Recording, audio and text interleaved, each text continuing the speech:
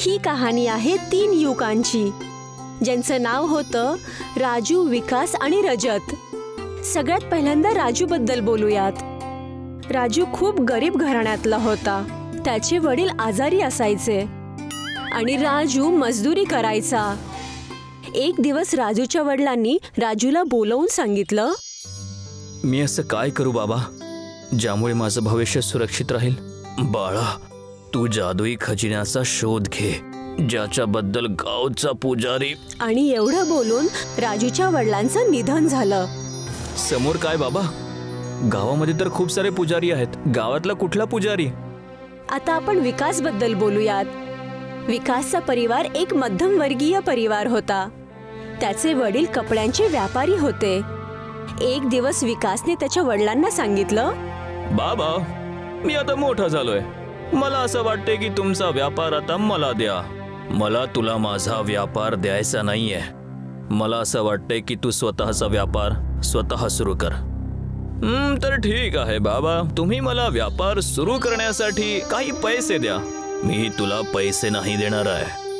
तुला पैशासाठी धन स्वतः जमा करावं लागेल. पण बाबा मी धन धन कुठून आणणार?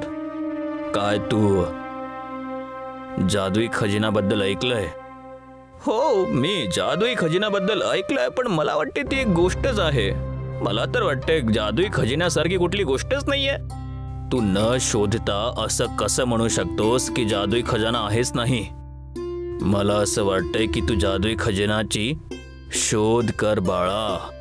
पण बाबा पण पण खजिना मिळाल्यानंतरच तुला व्यापारासाठी पैसे मिळणार. आता जा इथून. आता आपण बोलूया तिसरा युवक रजत बद्दल जो एका राजाचा मुलगा होता. बाबा काय आता मी राजगद्दी सांभाळण्यासाठी तयार झालोय?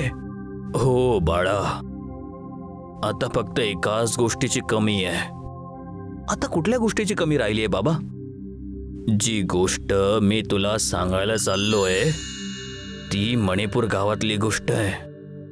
हे गाव आपल्या राज्याच्या आतमध्येच येतं. खूप वर्षाआधी मणिपूरमध्ये कमला नावाची बाई राहायची. कमलाला प्रत्येकदा स्वप्न यायचं की तिच्या झोपडीच्या खाली खजिना दडलेला आहे. एक दिवस कमलाने हिम्मत करून आपल्या घराच्या जमिनीची खुदाई केली. त्या खुदाईमध्ये तिला एक कागद मिळाला ज्यावर लिहिलं होतं खजिना पुलाच्या खाली आहे. तेव्हापासून आजपर्यंत राज्याच्या खूप साऱ्या पुलाखाली खुदाई झाली आहे. पण कोणाच्या खाली खजिना नाही मिळाला. त्या कागदावर लिहिलं होतं की खजिनाला शोधणाराच राज्याचा आदर्श शासक असणार आहे. यामुळे मला असं वाटतंय की तू खजिनाच्या शोधात जा आणि स्वतःला आदर्श शासक सिद्ध कर. ठीक आहे बाबा. मी खजिन्याच्या शोधात जाणार. आणि स्वतःला साबित करणार. तिघही नवयुवक राजू रजत आणि विकास खजानाच्या शोधासाठी निघाले. ते तिघ जण एकाच राज्याचे होते. राजू एक एक करून सगळ्या गावातल्या पुजारीकडे गेला. आणि एका पुजारीने राजूला तीच कहाणी ऐकवली जी रजतच्या वडिलांनी त्याला सांगितली होती. तिघही नवयुवक त्या पुलाला शोधण्यासाठी निघाले होते ज्यांचं खोदकाम झालेलं नसावं. पण ते ज्याही पुलाच्या खाली जायचे त्यांना माहीत व्हायचं की त्या पुलाचं खोदकाम झालेलं आहे. राज्याच्या अंतिम पुलावरती तिघांची भेट झाली. अरे तुम्ही दोघं पण असे काय पूल शोधायला निघालायत की ज्यामध्ये खजाना आहे? विकास आणि रजतने सहमती देऊन मान डोलवली. तर चला मग आपण तिघही मिळून एक सौदा करूया. कसला सौदा? त्या कहाणीच्या म्हणण्यानुसार जो तो खजाना शोधून काढणार आदर्श शासक असणार. आपण तिघही मिळून खजिना शोधूया. जर आपल्याला खजिना मिळाला तर त्या खजिन्याला आपण तीन भागामध्ये वाटूया आणि राज्यावर शासन मिळूनच करूया. काय वाटतंय? बोला. काय सौदा मंजूर आहे? मला सौदा मंजूर आहे. मला पण सौदा मंजूर आहे.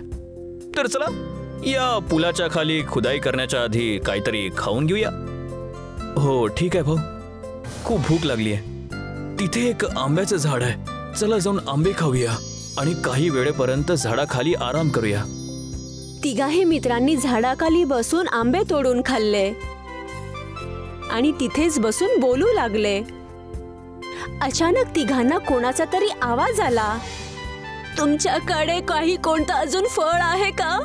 मलाही द्या. मी म्हातारे झाले आहे.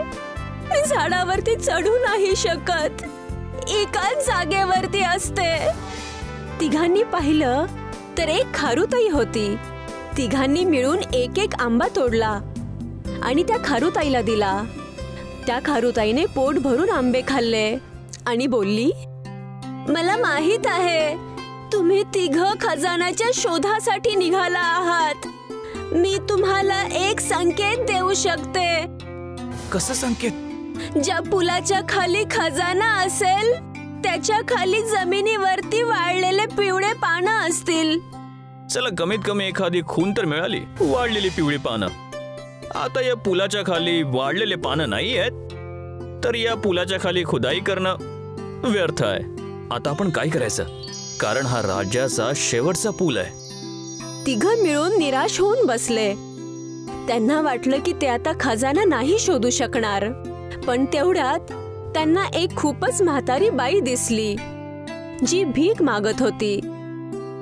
देवाच्या नावाने काहीतरी दे बाळा. तिघांनाही त्या म्हातारीला भीक दिली. अचानक ती बाई एक आत्मा बनली. मला माहीत आहे की तुम्ही तिघ खजानाच्या शोधात आहात. मी खजान्याबद्दल तुम्हाला काहीतरी संकेत देऊ शकते. तू आम्हाला काय संकेत देण्याचा प्रयत्न करतेस ज्या पुलाच्या खाली खजाना असेल त्याच्याखाली जमिनीवरती काही सोन्याचे शिक्के असतील. आणि हा एक महत्वाची गोष्ट अजून. ज्यावेळी कमलाने खजान्याची गोष्ट बोलली होती त्यावेळीस तुमच्या राज्याचा आकार वर्तमान आकारापेक्षा खूप जास्त आकार होता. त्यासाठी तुम्हाला राज्याच्या बाहेर जाऊन त्या पुलाला शोधावं लागेल. आणि असं बोलून आत्मा निघून गेली. हम्म, आता तर आपलं काम एकदम कठीण झालंय. राज्याच्या बाहेर तर खूप सारे पूल आहेत. तू एकदम ठीक बोललाय पण आपल्याकडे आता दोन संकेत आहे. त्यामुळे आपल्याला खूप सहायता मिळणार. तिघ मिळून राज्याची सीमा पार करून बाहेर गेले.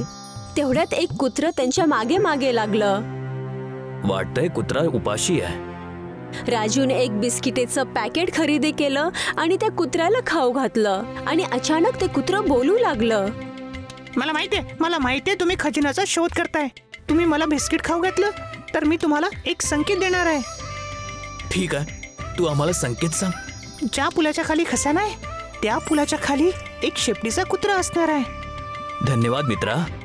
आतापर्यंत आपल्याला खूप सारे संकेत मिळालेत है ना? आता आपल्याला तीन संकेत मिळाले आहेत.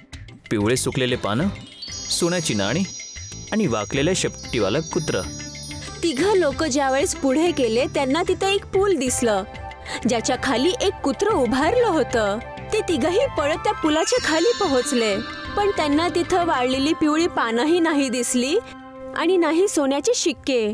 काय आपल्याला इथे खुदाई करायला पाहिजे?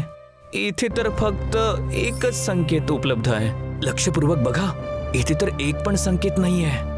हे कुत्र वाकलेलं शपटीवाले नाहीये. याचं शपूट सरळ आहे. तिघ मिळून पुढे गेली. तर त्यांना अजून एक पूल मिळाला ज्याच्या खाली पिवळी पानं होती. तिघ जण मिळून तिथं दुसरा संकेत म्हणजे सोन्याचे शिक्के शोधू लागले. इथे सोन्याची नाणी नाहीयेत. हम्म इथे तर एक कुठलं कुत्र पण नाहीये. पण पण इथे पण इथे पिवळे पानं तर आहेत. काय हे जरुरी आहे की आपण सगळ्या संकेताला शोधायचं? जर असं तर नसेल की त्याच्या शोधामध्ये आपण खजिन्यालाच गमावून टाकू? त्या संकेताचा तर काय भरोसा? अरे भरोसा तर खजिनांचा सुद्धा नाहीये. आपण एक प्रचलित गोष्टीच्या आधारावर खजिना शोधायला चाललोय. हे बौद्धिक रूपानं ठीक नाहीये. तू एकदम खरा बोलतोय पण आपल्याला हार नको मानायला. जर खजिना आहे तर त्याला शोधूनच काढलं पाहिजे. इथे खुदाई करा. त्यांनी पुलाच्या खाली खोदकाम केलं पण त्यांना हाती काहीच नाही लागलं. हम्म आपल्याला संकेतावर भरोसा करायला पाहिजे होता. कारण ते तिन्ही लोक ज्यांनी आपल्याला संकेत दिले स्वार्थी नव्हते. त्यांनी आपल्याला खजिनामध्ये हिस्सा नाही मागितलाय तर आपल्याला त्यांच्यावर विश्वास करायला पाहिजे.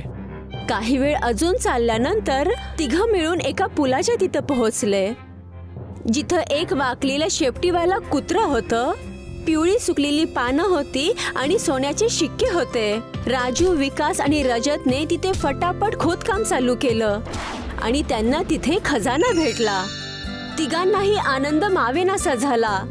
राजू विकास आणि रजत प्रमाणे आपण पण कुणाची निस्वार्थपणे सेवा केली तर आपल्यालाही संकेत मिळतील आणि आपण पण कोणत्या ना कोणत्या खजान्यापर्यंत नक्कीच पोहोचू.